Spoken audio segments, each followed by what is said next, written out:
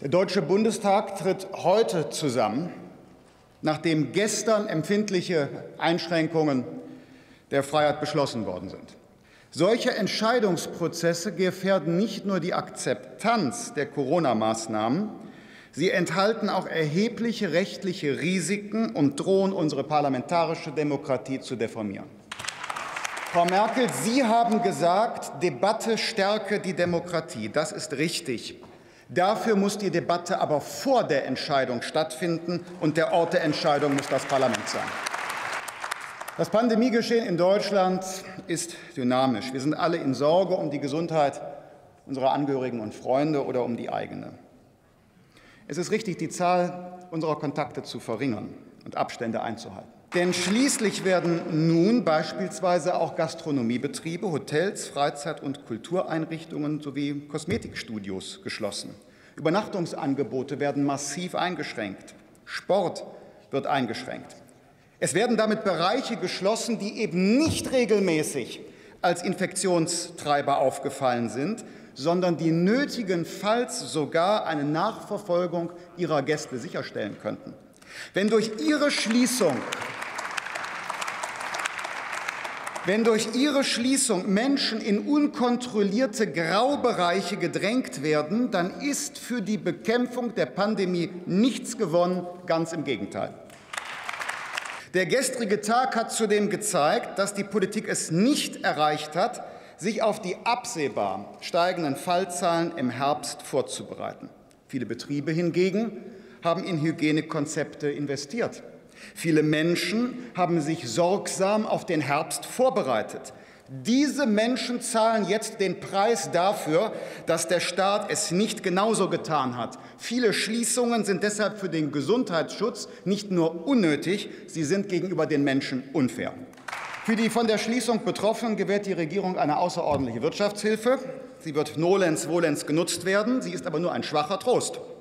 Denn die Menschen wollen nicht dauerhaft Finanzhilfe vom Staat. Sie wollen arbeiten und öffnen, und das sollten sie überall dort dürfen, wo der Gesundheitsschutz möglich ist.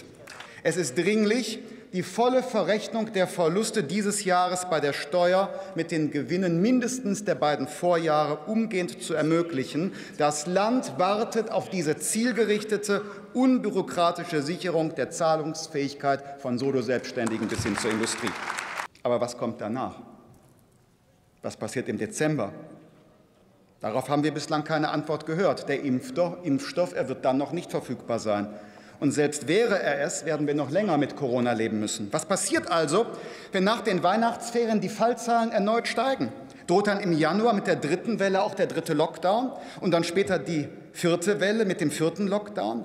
Sollen irgendwann, um das kolportierte Zitat aus Unionskreisen zu verwenden, sollen irgendwann die Zügel so stark angezogen werden, dass auch die Wohnungsdurchsuchungen aus der Vorstellungswelt bestimmter Mitglieder dieses Hauses durchgeführt werden? Die Unverletzlichkeit der Wohnung ist ein Grundrecht, und wem unsere Verfassungsordnung heilig ist, der stellt das nicht in Frage. Gestern, liebe Kolleginnen und Kollegen, hat ein beachtlicher Teil der organisierten Ärztinnen und Ärzte zusammen mit namhaften Experten Bedenken gegenüber ihren Beschlüssen geäußert. Es wurden andere Vorschläge für die Bewältigung dieser Krise vorgelegt. Frau Bundeskanzlerin, dieser Gruppe kann und darf man nicht Populismus oder Unkenntnis unterstellen, nur weil sie zu anderen Abwägungen kommt als Sie. Diese Gruppe, diese Gruppe diese Gruppe setzt auf Gebote statt Verbote, um an die Selbstverantwortung der Bürgerinnen und Bürger zu appellieren und der Gewöhnung an Panikvokabular vorzubeugen. Sie regen die Konzentration der Ressourcen auf die Bevölkerungsgruppen an, die ein hohes Risiko für schwere Krankheitsverläufe haben. Im gestrigen Beschluss ist das nur einer von 16 Punkten, der im Übrigen heute von der Frau Bundeskanzlerin noch einmal relativiert worden ist.